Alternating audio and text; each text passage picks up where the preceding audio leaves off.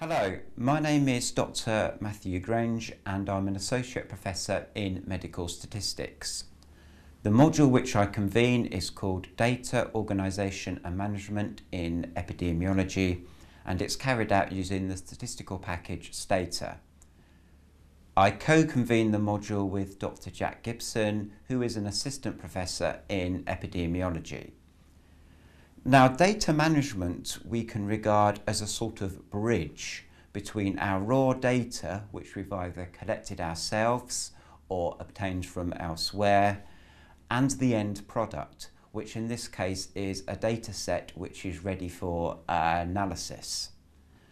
The material in the module is congregated into two parts. So in part one of the module, we teach you the fundamentals of data management.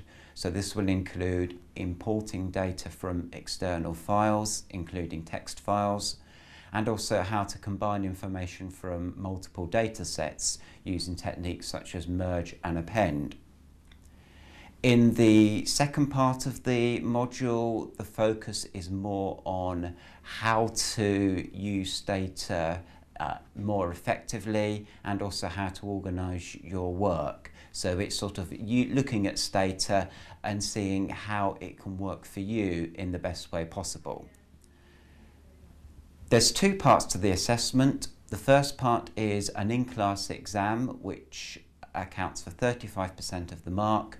This will be a timed two-hour exam and the idea is it will test your knowledge of the material covered in the early sessions.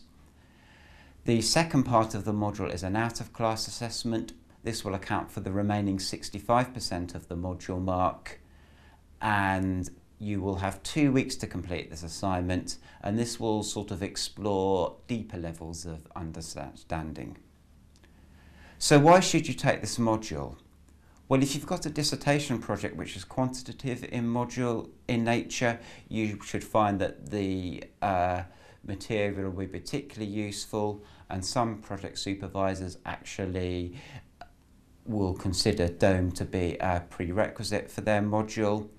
However, perhaps a more useful reason to consider undertaking the module is that data management, having the confidence to be able to analyze and manage and deal with large data sets is really a very useful lifelong skill in your future working lives.